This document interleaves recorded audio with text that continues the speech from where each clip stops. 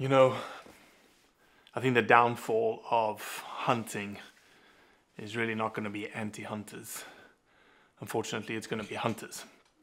The hate that hunters put on other hunters just because they don't agree with the way that they hunt, agree with the weapon that they use, how far that shot is taken.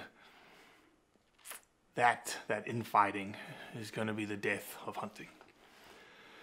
Happens all the time.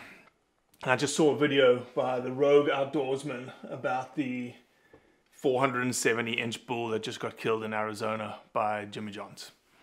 And uh, when you scroll through the comments, you can see the hate 600, 700 comments. Uh, that was elk shooting, not an elk hunt. Um, it's all about the money.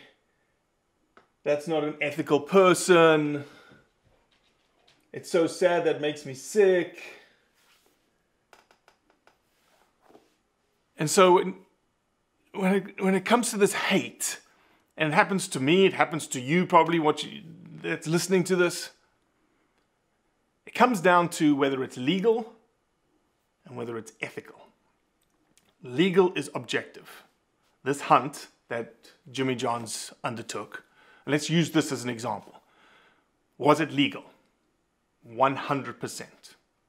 So nobody should have issue with the legality of the hunt. What everyone has issue with is the gray area of ethics, the gray area of whether or not this was ethical.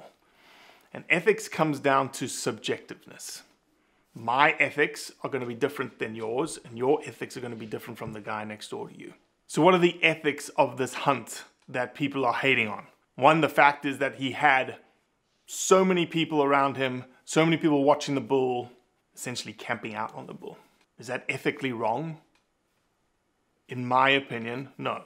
Because this is the governor's tag. This is a tag that probably cost $200,000, $250,000. It doesn't just happen in Arizona, it happens in every Western state. And people are crying a foul. Oh, he's just hunting that because he has money. Yes, that's absolutely true. But do you know where that money goes? It's not going to A3, the outfitters of this specific hunt. That money is going into the coffers of game and fish so that the opportunities available to Arizonians and non residents coming into Arizona to hunt are there, regardless of whether you think the fact that he spent so much money and there were so many people around it as unethical. Think of the consequence of that one hunt to wildlife conservation in Arizona. The other ethical debate here is the long shot. He shot this animal at 960 yards. Okay. Did he hit the animal in the vitals at 960 yards or 1,000 yards? Yes. Wow, that's pretty impressive shooting. Would I do it? No. Would you do it? Maybe. Maybe not. But again, that's a gray area. Why are we even debating whether or not a long rifle shooter is better than a short rifle shooter, that's better than a traditional bow hunter, that's better than a compound bow hunter. We all can mess up. Okay. In that same vein, you hear the guide in the video saying, there was no other shot, we couldn't get closer. So they took the shot.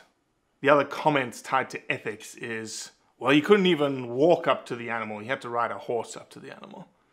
Well, is it a prerequisite to be a hunter to be absolutely fit and be able to climb these steep mountains and steep ridges? Absolutely not. It's okay to be out of shape and go hunting. So he needed a horse to get up to the elk. So he needed trekking poles to walk up there. Maybe he's got bad knees. He's overweight. Okay. Why does that make him any less of a hunter? It's because your definition of ethics of what a hunter is supposed to look like or feel like or um, represent may be a little skewed. What I took out of this video is at the end. When you listen to Jimmy, when you listen to him explain before the trophy shot, he's not even interested in the trophy shot. He wanted to thank everyone. He was so appreciative of everyone helping him you can hear the emotion in his voice. And I don't know, Jimmy, but you can tell that there is a little bit of insecurity there in him expressing his emotions because he puts jokes about how much money he earned and he can make sandwiches and the guides can't. That's just a tactic. That's just a tactic of someone trying to express emotions and being a little self aware that I'm not supposed to be emotional around a bunch of guys, and so I need to make them laugh. But he got emotional because it meant a lot to him. And that's what hunters feel. They feel that emotion at the end.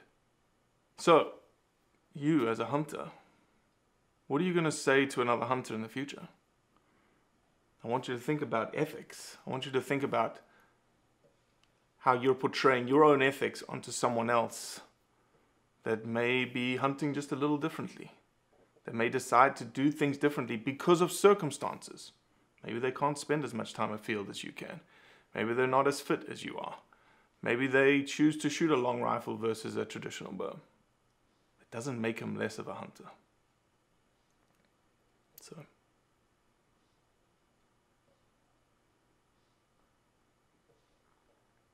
That is my wish. I wish hunters would stop hating on other hunters.